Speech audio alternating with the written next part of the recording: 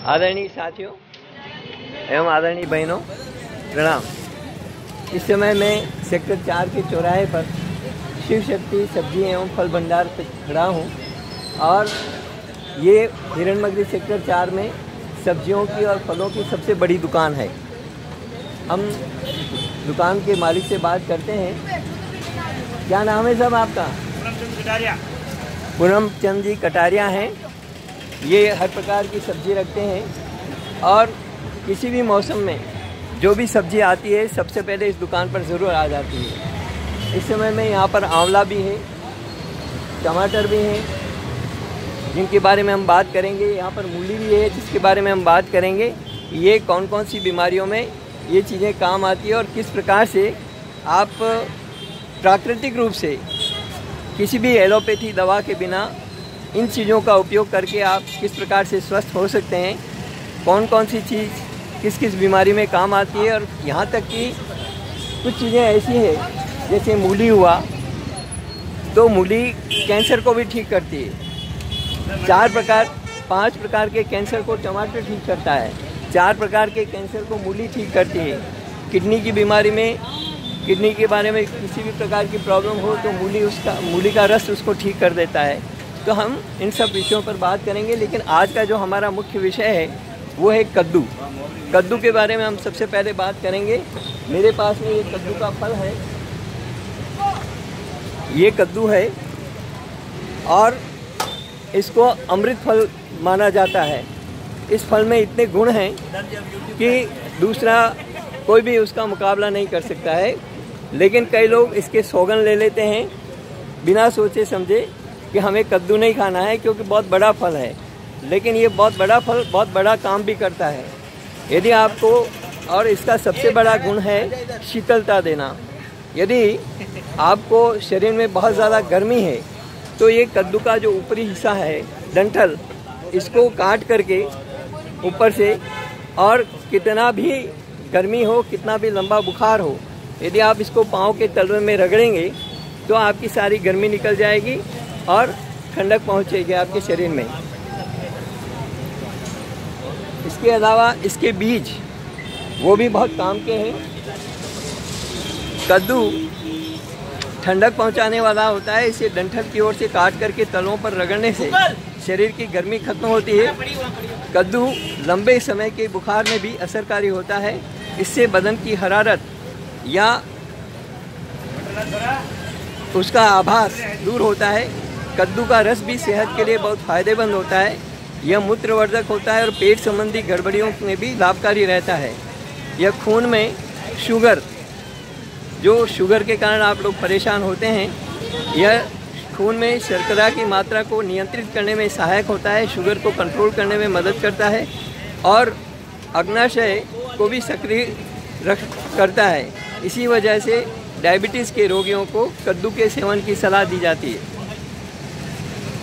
कद्दू के बीज भी बहुत गुणकारी होते हैं। कद्दू व इसके बीज, विटामिन सी और E, iron, calcium, magnesium, phosphorus, potassium, zinc, protein और फाइबर आदि के भी अच्छे स्रोत होते हैं। यह बलवर्धक रक्त एवं पेट साफ़ करता है, पित्त व वायु विकार दूर करता है और मस्तिष्क के लिए भी बहुत फ़ायदेमंद होता है। प्रयोगों में पाया गया है कि कद्दू के छिलके में भी एंटीबैक्टीरिया तत्व होता है जो संक्रमण फैलाने वाले जीवाणुओं से रक्षा करता है। इस सब्ज़ी में पेट से लेकर के दिल तक की कई बीमारियों के इलाज की क्षमता है। कद्दू के जूस के भी बहुत भारी लाभ हैं। कद्दू का जूस विटामिन डी का बढ़िया स्रोत है, जो आपको किसी अन्य जूस में नहीं मिलता है। आप बिना धूप में जाए भी इस जूस से अपने शरीर में विटामिन डी की पूर्ति कर सकते हैं। कद्दू में विटामिन डी के अलावा कॉपर आयरन और फास्फोरस भी होता है और जैसे मैंने कहा जिंक जिंक का भी एक सबसे बड़ा नेचुरल सोर्स है कद्दू. यदि आपको कोरोना हो रहा है या कोरोना से आप डर रहे हैं तो आप जो है कद्दू का सेवन नियमित रूप से करें। इससे आपके शरीर में जिंक की पूर्ति हो जाएगी और आपको कोरोना नहीं होगा। कद्दू के जूस में vitamin B one B two B six C और ई और बीटा कैरोटीन भी भरपूर मात्रा में होते हैं। कार्बोहाइड्रेट्स और प्रोटीन भी कद्दू के जूस में पाए जाते हैं। हर दिन करीब आधा कप कद्दू के जूस की सलाह दी जाती है। कद्दू का जूस लीवर और किडनी के लिए बहुत लाभकारी है। ऐसे लोग जिन्हें किडनी में पथरी की समस्या है, उन्हें कद्दू का जूस रोज़ाना तीन बार ज़रूर पीना चाहिए। कद्दू के जूस में धमनियों को साफ़ रखने का गुण होता है। जिससे दिल की बीमारियों और दिल का दौरा पड़ने का खतरा बहुत कम हो जाता है। कद्दू के जूस में एंटीऑक्सीडेंट्स काफ़ी ज़्यादा होते हैं जो शरीर को एल्टेरी